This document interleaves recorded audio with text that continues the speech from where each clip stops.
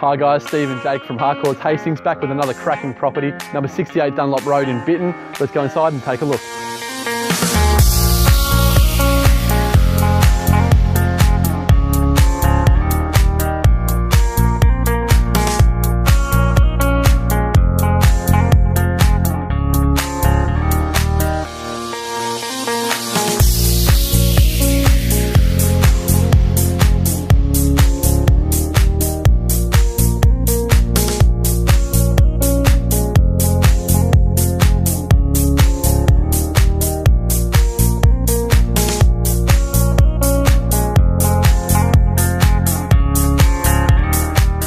Beautiful, thanks for that guys. What a fantastic family home set on a quarter of an acre block.